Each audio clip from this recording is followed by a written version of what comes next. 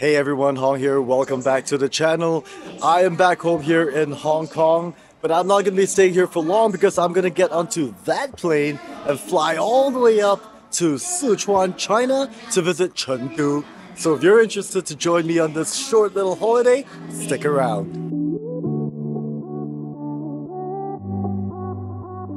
Chengdu is the capital of the Chinese province Sichuan, and with about 21 million inhabitants, it's the fourth most populous city in China. The flight distance from Hong Kong to Chengdu is slightly over 1300 kilometers, with a flight time of just under 3 hours. Being an economic and manufacturing powerhouse, the city is a sprawling metropolis expanding on a yearly basis. But don't let all the high-tech, bullet trains and skyscrapers fool you. Chengdu is also one of the oldest ancient cities in the world, with a rich cultural heritage spanning over 4,000 years. Now, I've been to many corners of China for school, work, travel, and vacations, but I've never been to Chengdu. This family trip was highly anticipated.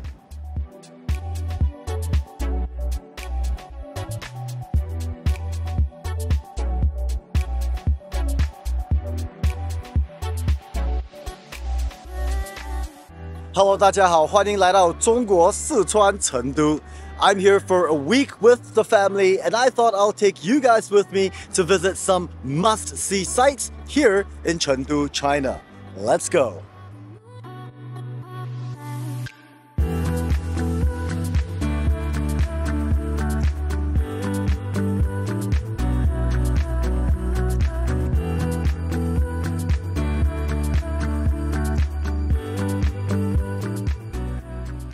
The first place we visited were the shopping districts of Chunxi Lu and Taiguli, a clear representation of the leaps in modernization and commercialization of this beautiful city.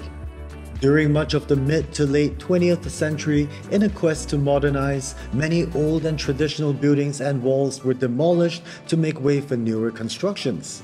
That is a sad fact that has affected parts of China, but thankfully, not all was lost. Understanding the historical importance of preserving the old, the government quickly stepped up its conservation efforts to safeguard many old buildings all around the country, and Chengdu was no exception. Today, many of these historical buildings have been rebuilt, refurbished, and in the case of these shopping districts, repurposed. You may even find inner peace and tranquility in the heart of this shopping district with a visit to the Temple of Infinite Compassion and Mercy. Built sometime in the 3rd century, this beautifully restored 1800 year old temple, known locally as Guda Sheng offers a glimpse into the Buddhist belief.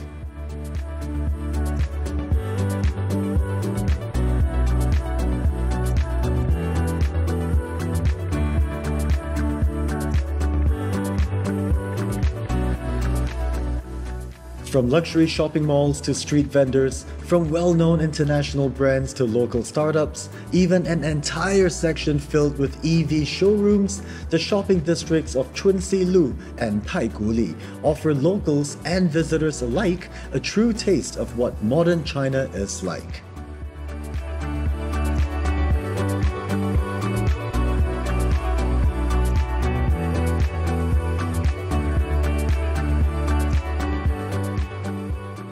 By now, you might have noticed the many panda icons, cartoons, and posters all around the city, and no visit to Chengdu can ever be complete without a visit to the Chengdu Panda Base, which was the next tourist attraction on our list. Probably one of the most iconic animals in the world, the giant panda is also China's most cherished ambassador and a national symbol for peace, love, and ecological conservation. Once on the brink of extinction, it took the nation decades of meticulous management to bring its population both in captivity and in the wild back up to safer numbers. And spearheading all that is the Chengdu research base of giant panda breeding. I will be the first to admit that visiting this large conservation park during the peak period basically during the summer school holidays, was challenging to say the least because there were so many people.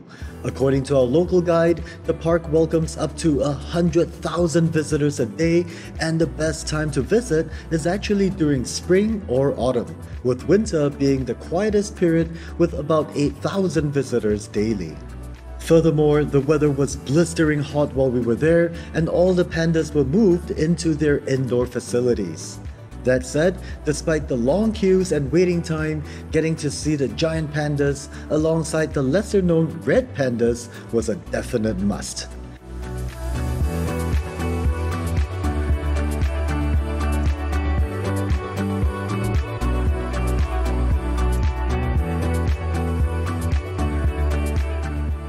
We were even lucky enough to catch a glimpse of a baby panda that was barely one month old. While I was worried about the noise all the visitors were making, our guide assured us that the glass was soundproof and that the park and park officials prioritizes the health and safety of the pandas more than the human visitors.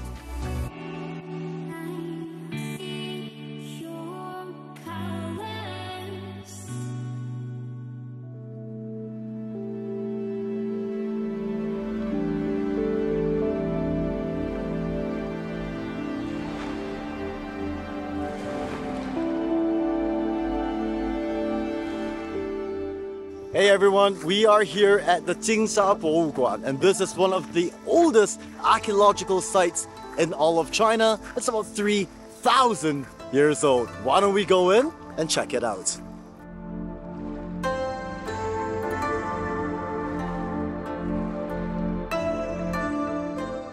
While we initially planned to visit the older Sanxingdui Archaeological Site and Museum, it was temporarily closed for renovations, which is why we came to Jinsha, the second oldest archaeological site in the province of Sichuan. This particular site was only discovered in 2001 and is believed to have been the capital of the ancient Shu civilization which went into decline sometime between 500 to 200 BCE. The reason for this ancient civilization to disappear is widely hypothesized to be due to earthquakes and or flooding.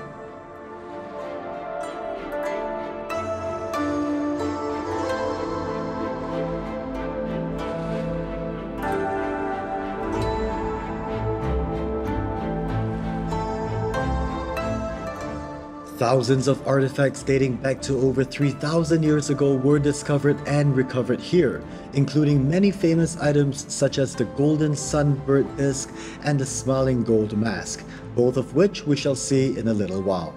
Also discovered here were fossils of massive elephant tusks, large turtle shells, horns from various animals, fossilized wood, alongside thousands of gold, bronze, and jade jewelry.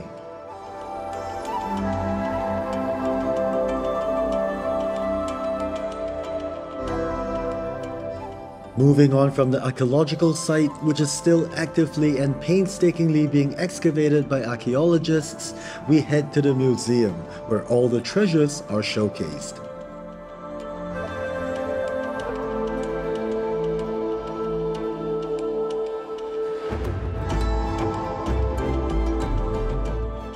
With over 50 buildings, 300 burial sites, up to 10,000 pieces of pottery, as well as thousands of tools and weapons excavated, the remnants of this once powerful and almost forgotten civilization sheds light on how the ancient people lived, their lifestyle and diet, and what their beliefs were.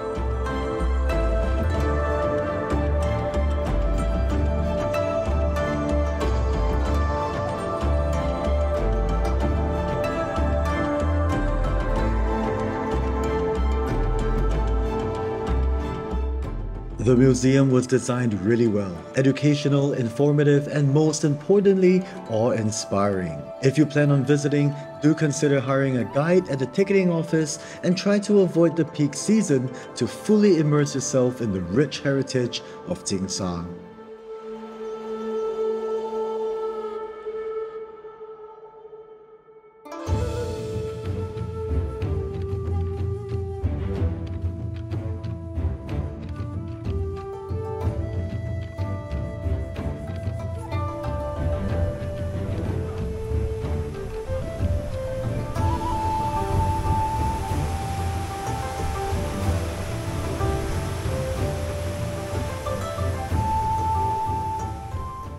Another tourist attraction to visit within Chengdu will be Dujiangyan, an ancient irrigation system constructed around 256 BCE, more than 2,000 years ago.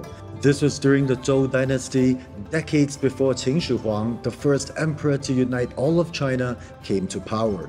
Over the millennia, this engineering marvel has been damaged due to earthquakes, but also rebuilt and improved, serving as a vital irrigation and flood control system still in use today. Water management is indispensable to the security, productivity, and survival of any society, something that ancient civilizations understood well.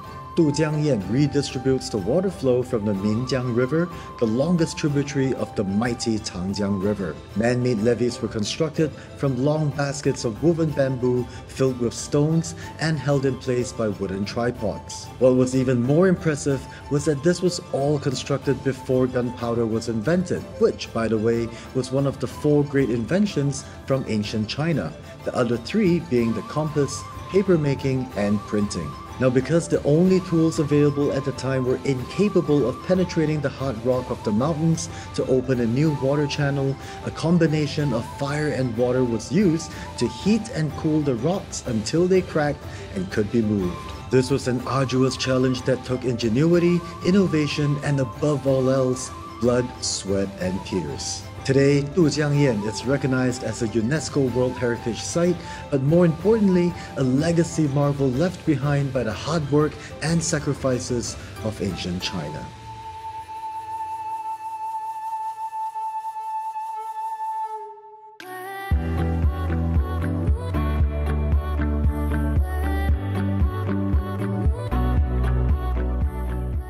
The final stop to visit will be the Kuanzhai Xiangzi, or Wide and Narrow Alley. These are remnants from the Qing dynasty, the last imperial dynasty of China, and consist of three main alleys.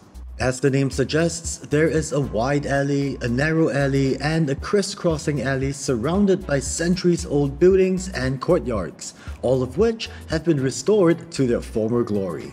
This is also the ideal place to pick up souvenirs and gifts, sample delicious local snacks, experience traditional Chinese tea ceremonies, and to bring home exquisite craft work and art.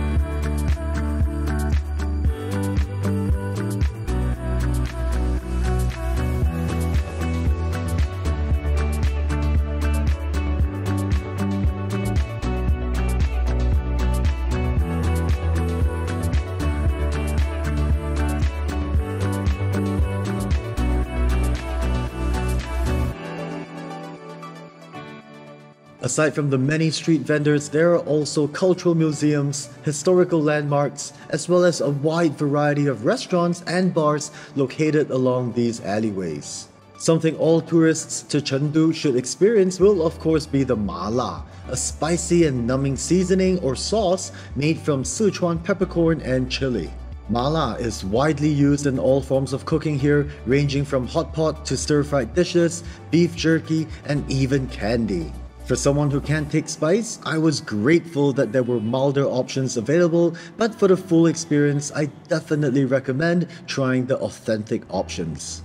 Something we noticed throughout our entire trip was that many of the streets we visited were kept really clean. Naturally, like any large city, there will be corners and segments that are less developed, but on the most part, I was truly impressed. As the sun set and cooler temperatures rolled in, many of the local senior citizens gathered at the main square for some healthy activities, a hybrid form of line dancing mixed with traditional stance and modern steps.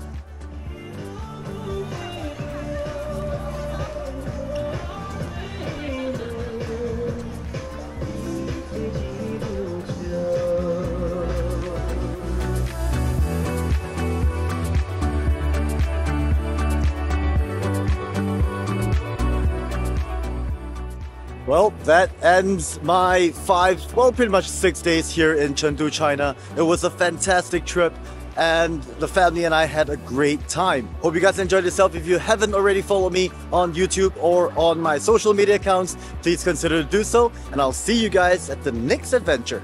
Peace out.